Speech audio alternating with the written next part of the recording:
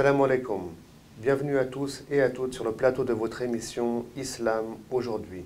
Nous allons parler ensemble du terme sharia qu'on va essayer de comprendre grâce et à travers l'intervention de notre invité, Cheikh Zakaria Siddiqui, que vous connaissez maintenant. Cheikh Zakaria, salam alaikum. Alaykoum salam wa rahmatullah. Donc, Cheikh Zakaria, vous êtes président hein, d'Acerfi, de la Maison des Savoirs, docteur à l'EPHE, directeur de euh, l'IMED. Donc, c'est beaucoup d'activités que Dieu vous, facilite hein, dans vos euh, projets. On a de nombreuses questions. hein. Tout d'abord, on aimerait, on va y arriver, que vous définissiez le terme sharia et puis que vous nous expliquiez euh, si la charia peut apporter des solutions aux enjeux politiques internationaux qui touchent hein, le, monde musulman aujourd'hui. Mais avant de soulever la première question, j'aimerais revenir sur la dernière émission qu'on a fait ensemble et qui portait sur la bid'a, l'innovation religieuse. Il y a eu une question qui a été euh, soulevée, hein, que j'ai reçue euh, par plusieurs euh, personnes. Et donc cette question est la suivante, qui- me semble d'ailleurs très très pertinente. Euh, donc dans, le monde arabe, dans le monde musulman, les imams, le vendredi, invoquent Dieu pour leurs gouverneurs, euh, pour euh, les, les- les- les- chefs hein, qui les dirigent hein, sur le plan politique, alors qu'ils soient d'accord ou pas. hein. Euh, c'est euh, comme ça que ça se passe. Alors est-ce que ça aussi c'est une innovation ou est-ce que c'est quelque chose de permis, de tolérable Si vous pouvez nous expliquer ça et puis ensuite on passera au thème de la. Euh, C'est une question ancienne, puisque les, gouverneurs de l'époque euh, essayaient de euh, soumettre euh, à leur service, à leur notoriété, à leur légitimité, les différents, les différentes hum, personnalités religieuses pour que la population accepte leur, leur, leur pouvoir. Et euh, la majorité des, euh, euh, des religieux, c'est-à-dire les imams qui faisaient des serments de vendredi, étaient obligés de faire des doigts, donc des, invocations pour les, souverains, les, les des les rois, les princes, les califes et ainsi de suite. Et ça a continué jusqu'à aujourd'hui. Et, euh, et, et échapper à cela, les, euh, les mosquées euh, qui étaient guidées, dirigées par des imams d'opposition. Donc des fois, ces imams opposants faisaient des invocations contre les, les gouvernements établis. Euh, cela a posé euh, donc euh, un problème pour les juristes. Parce qu'à l'époque du prophète, sallallahu alayhi wa sallam, et- cela ne se faisait pas. Nous, malgré que le prophète est à la place la plus haute dans la, la- Mhm. la communauté musulmane. Et donc, les savants ont, ont débattu et certains, comme l'Izz ibn Abd qu'on appelle le, sultan des oulémas, des savants, euh, l'imam euh, Shatibi ou d'autres, ont jugé que cela était une innovation euh, mauvaise euh, et blâmable parce qu'elle parce qu'elle octroie, parce que- l'imam octroie par cette invocation une dimension religieuse à- au gouverneur, au roi, et donc euh, euh, ça, ça, euh, le- le- l'exercice du pouvoir de, ce, de, ce, de ces souverains et, la population n'arrivait plus à distinguer ce qui était religieux dans les comportements et ce qui ne l'était pas. C'est pour cela qu'ils ont dit il ne faut ni faire pour le souverain des, des invocations, ni contre lui. Et, mais il, il, il- Rester neutre euh, politiquement. politiquement, on n'a pas à, utiliser le, la chair du, de l'imam pour euh, soutenir ou euh, s'opposer à une, à une autorité politique. Par contre, on peut faire des invocations privées. C'est-à-dire lorsque la personne est seule avec Dieu dans sa prosternation, il n'y a pas utilisation, il y a au contraire l'esprit de la sincérité euh, qui vient euh, conforter euh, cette position. Donc il, appelle à faire des invocations dans la prosternation et, c'est ça la solution qui doit, à mon sens, être répondu pour éviter toute manipulation euh, et exploitation politicienne euh, de, du prêche du vendredi pour ou contre tel ou tel. donc si je comprends bien, à l'heure d'aujourd'hui, donc un imam dans une un imam dans une mosquée, donc à l'étranger, qui est en train d'invoquer Dieu pour le chef de, son gouvernement, il est en train de faire une innovation blâmable. en conclusion. Oui. à mon sens, oui. À votre sens, oui. Hmm. D'accord. Donc il y a euh, beaucoup de, Aussi pour celui qui fait contre lui. Ou bien qui fait contre lui. Voilà, il faut aller dans les deux sens. Oui. Bien sûr. aussi, euh, euh, ce n'est pas Vous l'avez bien expliqué. mais aussi l'opposition L'opposition qui l'exploite, oui. Très bien. Alors merci pour ces éclaircissements. Donc on va clôturer définitivement le sujet qui porte sur la BDA et on va s'intéresser. Euh, Alors bien sûr, ça aussi, on ne l'a pas dit, donc c'est un sujet euh, qui mérite plusieurs émissions, euh, et peut-être qu'un jour on le fera avec d'autres invités aussi, qu'on débattra du sujet, peut-être avec une opposition. Hein. mais bon, je considère cette première émission, en tout cas sur la Bidara, comme une introduction au sujet, et on, verra peut-être donc les détails à une autre occasion. Maintenant, on va passer à la Sharia, et là c'est pareil, on pourrait en faire un colloque. Hein, euh, ou bien un séminaire. Euh, donc on va rester neutre, on va rester euh, scientifique aussi sur le sujet, parce que le mot sharia, il a un sens qui varie chez les médias. On entend par sharia la loi islamique. Des fois, on dit la loi islamique où on lapide les femmes. donc il y a des sens. bon, il y a des enjeux comme ça, le, sens il est falsifié, il change même parfois d'une chaîne à une autre, donc on va rester neutre, scientifique. C'est pour ça qu'on a la chance d'avoir, euh, de, votre présence, hein, puisque vous êtes euh, docteur euh, à l'EPHE, si vous pouvez commencer par nous expliquer scientifiquement ce que signifie le mot Jalira. Hmm. Tout d'abord, je ne suis pas neutre, mais j'essaie d'être objectif hein, et présenter les choses telles qu'elles sont réellement selon ma compréhension. Très bien. Euh, sharia est, un mot arabe euh, qui, euh, qui signifie, en, gros, hein, la source hein, d'eau. Et donc, ça renvoie, après dans la terminologie des, des, des savants, au Coran et à la Sunna, c'est-à-dire euh, à la révélation.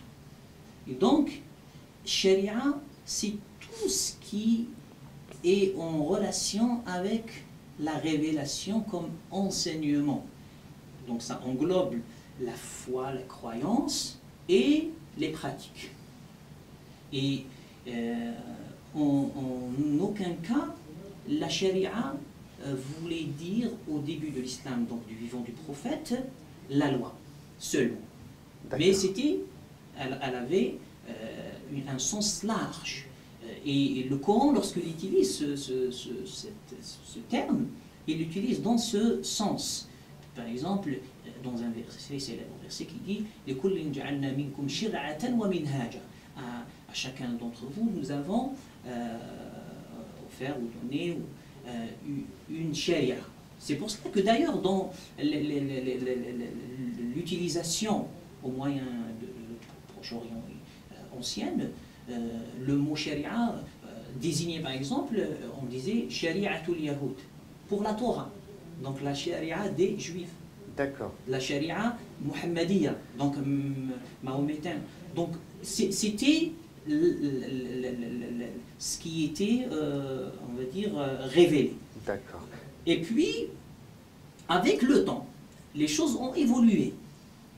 Ça, c'est le sens premier dans l'époque du prophète. Mais ça a pris comme d'autres termes. Du coup, euh, on ne peut pas traduire le terme sharia par législation, ça serait léser le sens. Oui, bien sûr, euh, parce que la législation n'est qu'une facette euh, parmi d'autres de cette sharia, donc de, de, ce qui a été révélé. D'accord, alors je reviens sur ce que vous disiez, vous parliez donc d'évolution du sens du mot sharia. Oui, à un moment de, de, de l'histoire, la sharia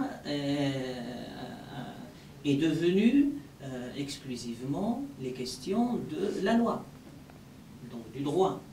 Et, il y a eu un terme euh, parallèle qui est le fiqh, hein, qui désignait plus tard. Qu'on traduit par jurisprudence en général. Jurisprudence, euh, droit, chacun mhm. comment il le traduit. Mais le mot en langue arabe veut dire la compréhension tout simplement. Comprendre quelque chose, c'est le fiqh. Donc comprendre les lois, c'est lui faire comprendre. Et donc ce terme aussi a, eu une évolution. Ce qui nous intéresse, c'est que le fiqh euh, est devenu, après quelques, quelques, quelques, temps, euh, euh, tout ce qui est production humaine, c'est-à-dire ce qui relève de l'interprétation humaine et, et, que Sharia va devenir tout ce qui est euh, euh, en relation avec euh, les lois révélées. D'où d'ailleurs cette, cette traduction qui, qui, stipule que Sharia, c'est la loi islamique. Donc, c'est d'une certaine façon, aujourd'hui, le mot Sharia est devenu la loi, la loi musulmane. ça, c'est aussi bien dans le monde musulman qu'en Occident. Ça n'a pas plus, plus de peut-être un siècle et demi, euh, deux siècles, maximum cette, cette, cette, terminologie. Mais c'est partout dans le monde, hein, oui, même parce dans le monde que musulman.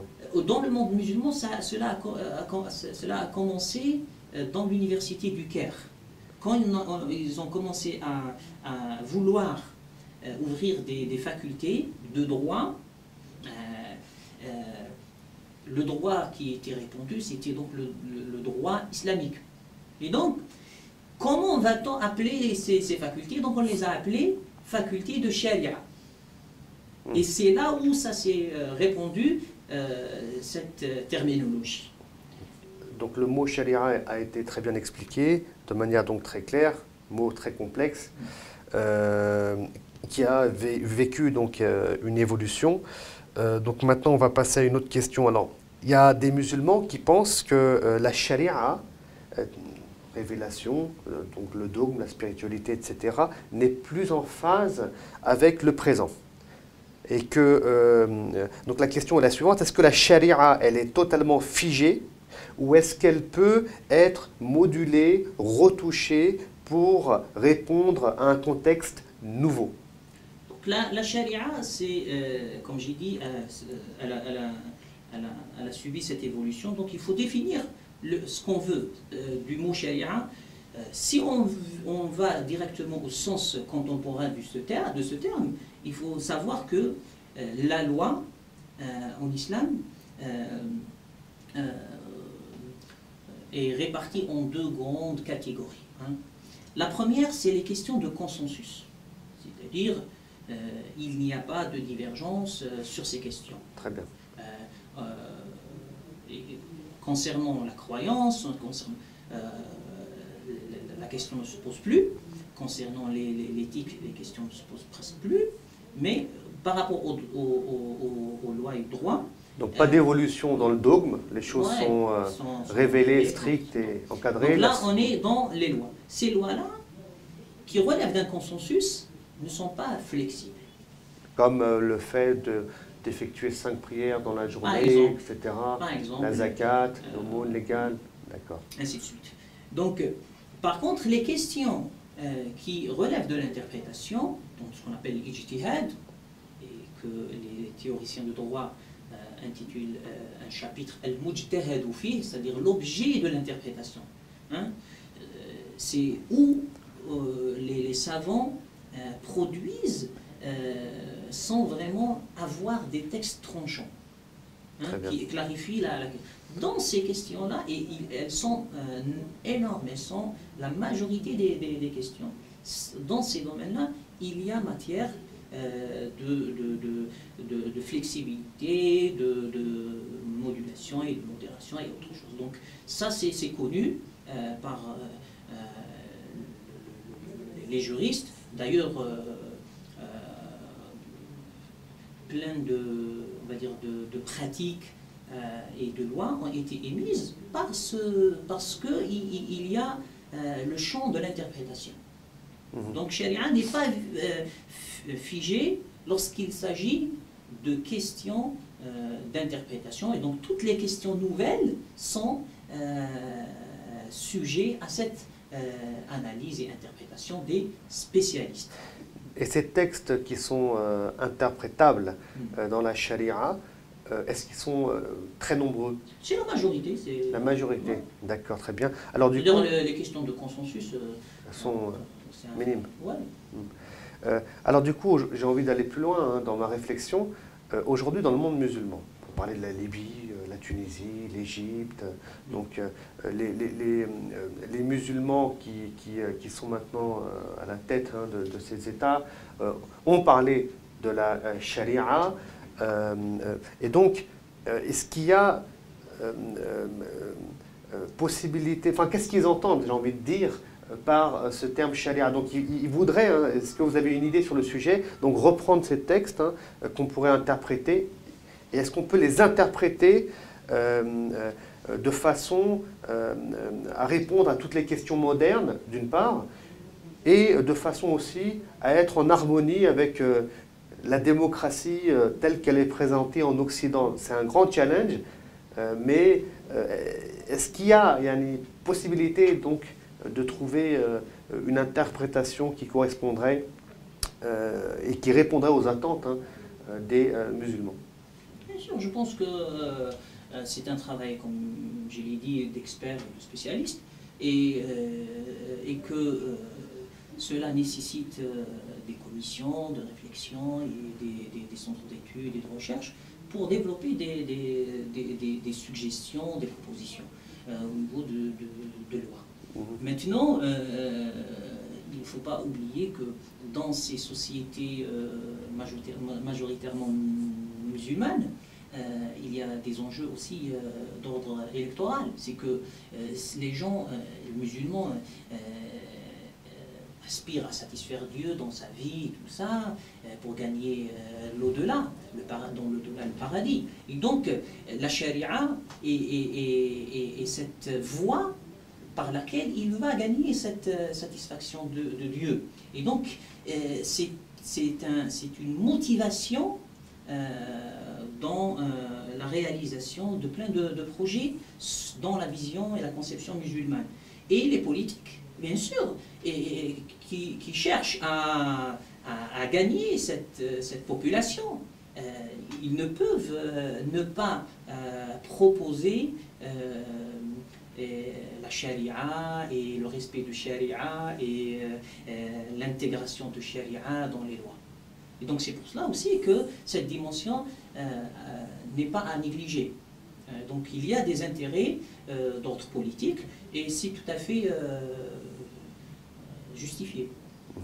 Alors il y, a des choses qui peuvent choquer parfois les Occidentaux dans le domaine donc, de la charia, plus spécifiquement dans les lois et plus spécifiquement encore euh, parfois dans les peines légales. Euh, euh, alors, est-ce que on pourrait faire des retouches, mais assez radicales finalement, dans la charia pour en garder vraiment un peu l'esprit, par rapport surtout à ce qui est lié à la peine légale. On parle de la peine de mort, par exemple, pratiquée en Arabie Saoudite, enfin, etc.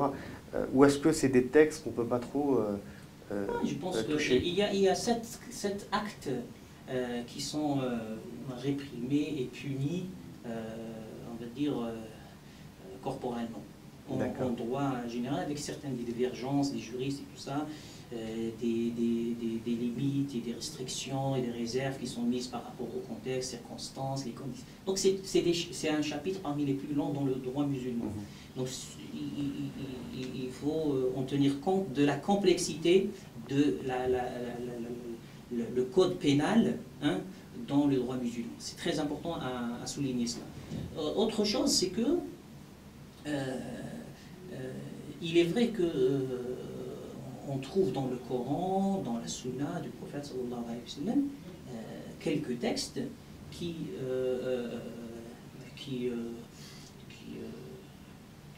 qui, expriment des, des, et qui sont en relation avec la punition corporelle. cela, dans la pensée juridique musulmane, musulmane, concerne les sujets musulmans qui vivent exclusivement dans un État islamique. C'est-à-dire. C'est conditionné, quoi. C'est très. C'est-à-dire, les, non-musulmans, même s'ils vivent dans un État musulman, ne, sont pas concernés par ce code. D'accord. Les musulmans qui ne vivent pas dans un État musulman ne sont pas concernés par euh, ce code. Donc, ça, c'est les juifs, ils l'expriment, ils le disent.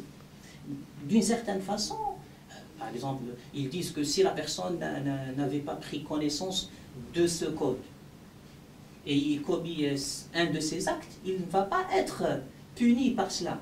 Parce que l'ignorance est une excuse dans ces questions-là. Donc c'est très complexe et ce qui montre que la, finalité euh, euh, constatée par les juristes de ces euh, textes est la dissuasion des individus à commettre ces actes. Donc c'est ça euh, ce que dit, les, et, pour, et il y a plein de textes qui, qui sont à l'appui de cette vision que les juristes ont. Mhm. Euh, je pense que euh, ce thème doit, doit être réfléchi et, pensé avec plus d'objectivité et sans les, les, pressions médiatiques et les préjugés et tout ça. Et, de manière scientifique et objective. quand on parle par exemple de, de, la prison qui a été introduite dans, dans le code pénal euh, islamique par euh, le deuxième calife Omar ibn Khattab, c'était Omar ibn Khattab, les, les, les, savants après ont remis en question le fait d'emprisonner une personne. Après Omar. Oui, après Omar, il y a eu des débats, il y a des, des, des, études sur ça, des savants qui ont, par exemple, ils disent euh, comment, par exemple, construire des prisons? Par quel financement? C'est une question. Est-ce que euh, un criminel mérite qu'on dépense sur lui? Et puis, est-ce que ce n'est pas des savants qui pensent, par exemple, c'est trop grave de couper une partie de, la vie d'un individu?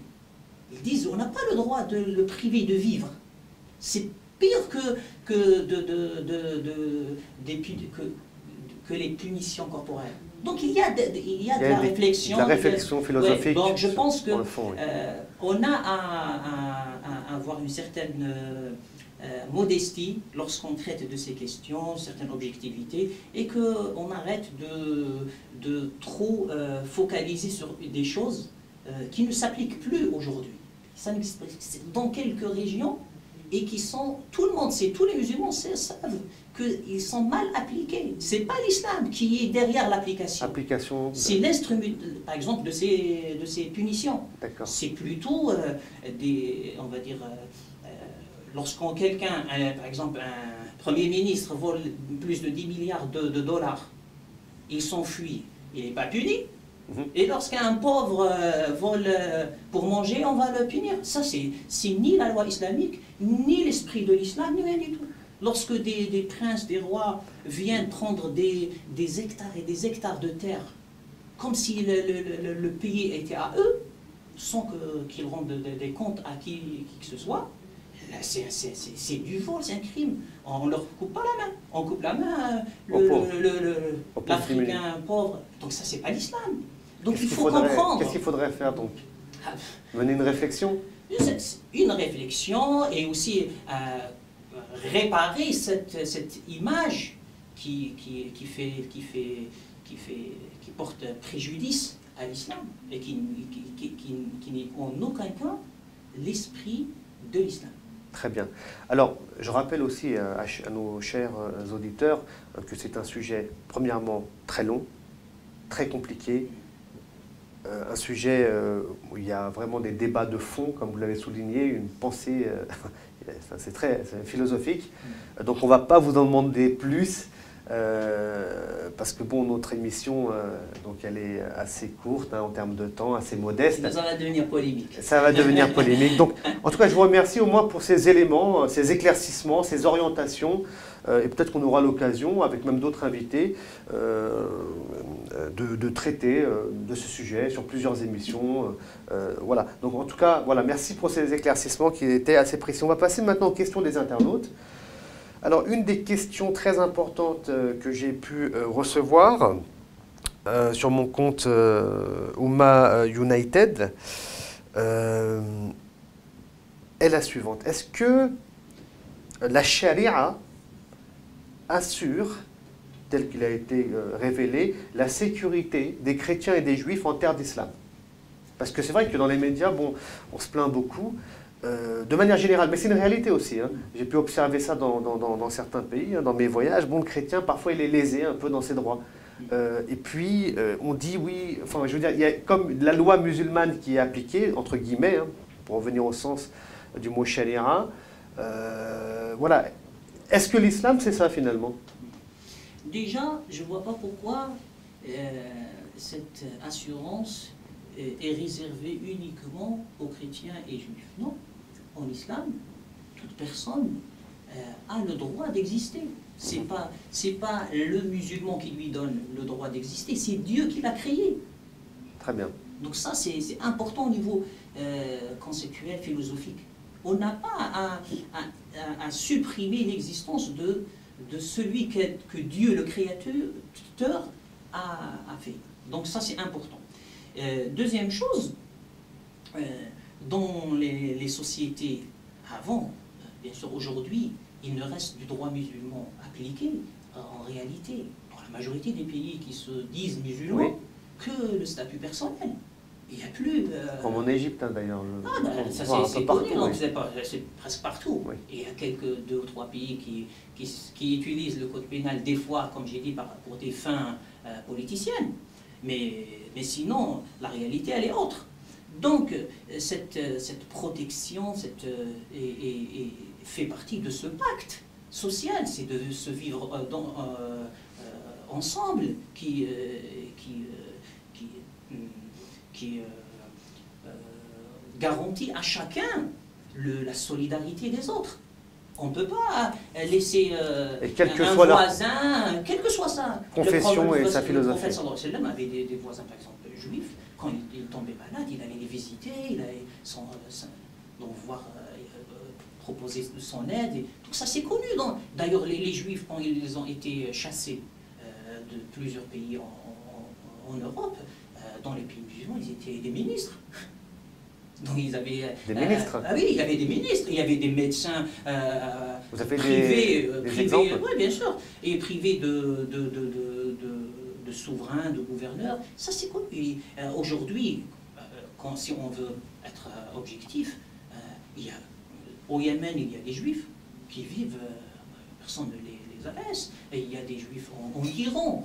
En Iran, oui, j'ai vu d'ailleurs un reportage en parlant pas des, il y a des il y a des, toutes les, confessions selon le choix. Parce que la question de choisir euh, la confession euh, est, purement individuelle. C'est-à-dire l'individu en islam, dans la vision théologique des, savants, le, le musulman, c'est celui qui a choisi de lui-même. On ne lui a rien de se soumettre à Dieu.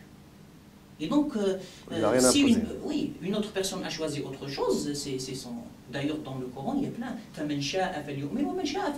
Celui qui veut croire, qu'il croit. Celui qui veut ne pas croire, qu'il ne croit pas. Dieu le dit clairement. Verset très, euh, qui appelle ah vraiment à la tolérance ah religieuse. Hein. Hmm. Très bien. Moi, je ne dirais pas c'est une tolérance. C'est pas moi qui tolère, c'est Dieu. Euh, oui, Dieu l'a fait, l'a fait comme ça, il lui a donné ce droit. Moi, je tolère rien.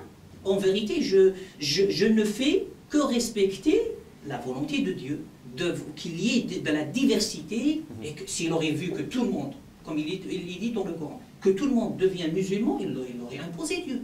Il n'a pas le pouvoir. Nous, on croit que le pouvoir de Dieu est absolu. Donc la charia euh, garantit une liberté euh, religieuse sans aucune euh, imposition. elle, nous dit qu'il n'est pas accepté auprès de Dieu qu'une personne adhère à l'islam si elle n'est pas convaincue. Très bien, très bien.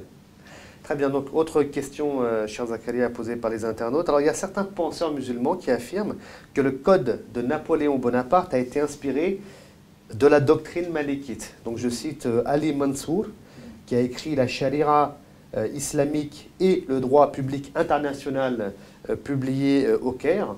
donc est-ce que cela voudrait dire que la France s'inspire de la charia Ou est-ce que c'est des légendes, des rumeurs Non, ce pas des légendes. Rien de, sérieux on, sait que tout système juridique a bénéficié d'autres systèmes ce n'est pas le, droit musulman, la charia, dans sa, situation actuelle, a, puisé dans d'autres systèmes. C'est pour cela quand on parle de loi islamique, le oui, le fait par exemple, quand on parle de loi islamique, islamique veut dire, c'est pas un, qualificatif qui existait euh, avant, euh, c'est-à-dire dans les siècles passés. C'est tout à fait euh, actuel. Contemporain. Oui. avant, on disait, comme j'ai dit, faire tout simplement. On ne disait pas faire islamique, parce que dans le faire, dans cette compréhension, on utilisait beaucoup d'outils. On a traduit les, les, les, les lois romaines, on a traduit les lois perses. Donc on a, on a, on a été chercher pour euh, faire évoluer euh, la, la, la, société, pour voir quel est, quel est le, le, bien, quelle est la sagesse qui est chez l'autre, pour euh, en mhm. bénéficier. Donc ça, c'est des enseignements éthiques, moraux de, que, que les musulmans euh, a quand ils comprennent l'islam. Donc ça pose aucun problème. Et donc je pense, je reviens sur le que Napoléon, par, pour par son intelligence, ses, ses, conseillers et tout ça, il n'aurait pas de gêne à, profiter de sa présence en Égypte, par exemple, où l'école malikite, euh, donc c'est une école euh, importante de droit musulman, euh, aurait profité de, ses écrits et tout ça, et en l'occurrence, comme certains chercheurs avancent, de, du, traité de droit écrit par le grand juriste Khalil ibn Ishaq al-Maliki. Ces recherches sont sérieuses Pour être objectif, moi, j'ai pas euh, entamer euh, cette, des recherches dans ce sens. Mais j'ai lu des travaux euh, dont je n'ai pas la, la, compétence à juger aujourd'hui. Donc il faut que je consacre plus de temps pour vraiment pouvoir me prononcer, mais il y a des études qui existent. Peut-être une question, si vous pouvez répondre, hein, parce que si vous pouvez répondre, comme ça à l'esprit, est-ce que vous avez un exemple où on voit la législation qui serait en harmonie avec euh, euh, la loi française ou bien la loi française avec la législation, quelque chose de très proche? Je sais pas. Euh. Qui vous, qui vous viendrait comme ça à l'esprit? le, le, le, fait que le contrat de mariage est un, est un contrat civil, ça c'est dans le droit musulman. C'est pas un contrat religieux. C'est comme vendre, comme acheter, c'est comme. c'est de l'ordre de, de, vraiment du, du, civil. D'accord, très bien. alors. Autre euh, question. Je toujours, oui. au, droit musulman, on pas dans un mariage, on n'a pas besoin de, ramener un imam. Bien que beaucoup de musulmans en Occident euh, ramènent des imams, mais l'imam n'a pas sa place en vérité dans le contrat. Il n'a rien à... Les gens le ramènent pour se rassurer qu'ils ne font pas n'importe quoi. Mais euh, moi, quand je me suis marié, je n'avais pas besoin de, ramener un imam. Ah, pourquoi je le ramène? Je sais comment ça se passe, c'est un contrat, c'est entre moi et mon, épouse, ma future épouse. C'est comme ça que ça passe. Donc, je pense que euh, euh, il y a beaucoup de, questions qui se rejoignent avec euh, les, lois répondues aujourd'hui. Mmh, très bien. Alors, autre question. Est-ce qu'un... Alors, bon, c'est vraiment des questions, hein, parfois qui m'étonnent qui moi aussi. Euh, est-ce qu'il est possible pour un musulman de vivre dans un pays qui n'applique pas la charia euh, Voilà, tout simplement. Peut-être que je rebondirai avec une autre question. Le prophète où il a vécu? À la Mecque.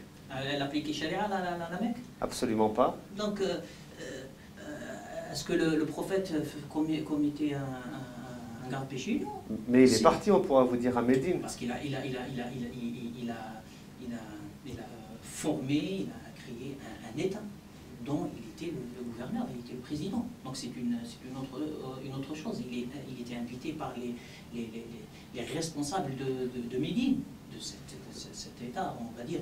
Mhm. il était invité par les responsables, d'accord. Donc c'était la, la, la, cité Médine. C'est, Médine, ça veut dire quoi? C'est la cité. Parce qu'on entend parfois. Ils l'ont invité, euh, ils l'ont accueilli à les bras ouverts il n'est pas entré ni avec les armes, ni rien du tout. Euh, c'est eux qui, ont, qui ont sollicité sa, venue. Et puis il a, il a attendu, le, comme il est connu dans les récits, il a attendu l'autorisation de Dieu. Parce qu'on parle souvent, enfin on parle souvent, on parle parfois dans les réseaux sociaux, euh, même ailleurs, on entend le mot hijra par exemple, il mm. faudrait euh, donc euh, émigrer, partir de la France. C'est un terme euh. complexe aussi, il, faut le, il y a plusieurs sortes de... Peut-être on fera une émission On fera une émission dessus. Mais, mais je dirais un mot sur... C'est lié à la citoyenneté peut-être Non, la, la, hijra ça veut dire quoi? Tout simplement quitter quelque chose. Donc, si tu es dans un pays musulman, c'était le cas dans beaucoup euh, de pays musulmans qui se disent musulmans, où tu es, euh, tu, es opprimé, euh, tu es torturé, tu n'as aucun droit, tu peux même pas pratiquer ta religion de façon normale, tu n'as pas à rester dans cette... Qui t'oblige à rester dans cet endroit? Ce qui n'est même pas religieux, mais logique même. Ben oui, donc, donc là, tu dois faire Je suis dans un pays non musulman où je ne peux pas exprimer ma religion, je ne peux pas vivre ma religion euh, sainement et naturellement. Là, je quitte. Pourquoi je vais rester mhm. euh, euh, L'islam nous apprend que la substance de vie est détenue par Dieu. Ce n'est pas les hommes qui détiennent notre avenir. C'est Dieu qui détient l'avenir de chacun de nous. Et donc, il ne faut pas avoir peur quand on est opprimé, qu'on qu'on vit mal, de d'essayer de trouver d'autres horizons, d'aller de, vers, vers, vers, des aventures qui peuvent être euh, euh, bénéfiques pour l'individu et voire même pour la société. Et avoir cet, esprit libre est, important euh, dans l'éducation musulmane. Très bien, alors peut-être que ça sera l'occasion de faire une émission sur ce thème-là. alors, dernière question. Qu'est-ce que la charia pourrait apporter de positif à un pays laïque comme la France Alors ça, ce n'est pas une question internaute, c'est moi qui l'ai préparée.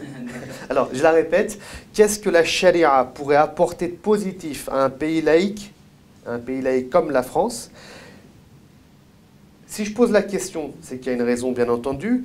Euh, Ouma a publié il y a, je pense maintenant, près d'un an et demi ou, ou deux ans, une interview avec euh, Madame Christine Lagarde, direct, enfin, présidente de, euh, du FMI, et elle dit, je reprends texto les termes, la finance islamique présente bien des avantages en ce qu'elle condamne la spéculation et en ce qu'elle condamne le hasard. la finance islamique a montré ses épreuves et, attend qu'on lui ouvre les, portes. Euh, Et ça peut être une solution à la bien crise sûr, Bien sûr, euh, euh, mais ce n'est pas le, seul domaine dont la charia peut contribuer. Contribuer donc à... Il y a d'autres domaines. À l'évolution économique et sociale de notre pays. Bah, la charia, par ses interdits de la consommation de, des drogues, hein, qui nuit à la santé, qui, qui, qui provoque des, des, des, accidents graves et ainsi de suite. Donc, mhm. euh, euh, protège, hein. protège euh, et, et, va dans le même sens que les lois qui régissent nos sociétés aujourd'hui. Mais la charia apporte sa dimension spirituelle qui donne la force à l'individu de se retenir et de ne pas tomber dans ces, cette consommation. Aussi. Excusez-moi, je vous coupe. Hein. Concrètement, euh, vous prenez un Français hein, de confession musulmane, euh, donc il y a cette charia qui invite à ne pas consommer de l'alcool. Le musulman il a conscience que c'est nocif pour la santé, mais aussi pour les autres. Vous avez parlé des drogues, très bien. En pratique, comment il va pouvoir apporter quelque chose à la France? En pratique, si vous pouvez donner déjà, un exemple. C'est un modèle de résistance à ces, à ces, on va dire, ces appels à consommer sans modération aujourd'hui et, à ces excès. Donc le fait qu'une personne non musulmane voit que quelqu'un peut ne pas boire, peut ne pas consommer de façon, on va dire, totale, et, donc ça va certainement éveiller en, lui euh, l'idée de, mieux se maîtriser, mieux se contrôler. Comme aussi le musulman va. Euh, aujourd'hui, on sait que euh, le musulman qui vit dans les sociétés occidentales apprend beaucoup au niveau de l'organisation, la propreté, et, il y a des, points communs que, qui, en rencontrant un non-musulman, le musulman va, va se rappeler, va voir que oui, mais en islam, il y a ça. Euh, et c'est par le comportement de non-musulmans que des musulmans euh, apprennent aussi leur, islam. Euh, par exemple, dans certains pays musulmans, les, gens ne donnent pas d'importance, par exemple, à, la propreté, ils ne donnent pas d'importance à, à, la courtoisie, ils ne donnent pas d'importance à le grand problème, au, au, respect des rendez-vous, du temps. Hein, quand il vient ici, il commence à, à, vivre avec euh, euh, des non-musulmans, il voit ses qualités, ses, ses, bons comportements qui ne sont que islamiques, dans la, vision des, des, des, des En harmonie avec la finalité, donc, donc, il va apprendre. Et c'est ça qui, à mon sens, euh, qui va cette, ce, ce, mélange, cette, cette diversité. diversité, cette contribution collective qui va élever le niveau de la société vers euh, quelque chose de meilleur.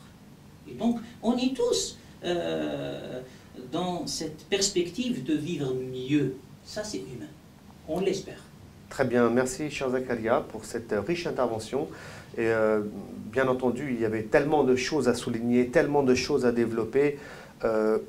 Peut-être qu'on fera d'autres émissions sur ce sujet. Et donc je rappelle bien à mes chers auditeurs hein, que l'objectif était euh, d'expliquer de manière objective, scientifique hein, surtout, euh, ce que signifiait le mot sharia. Cher Zakaria, donc merci euh, beaucoup pour être venu donc, pour cette émission. Euh, qu'Allah subhanahu wa ta'ala vous euh, préserve. Hein.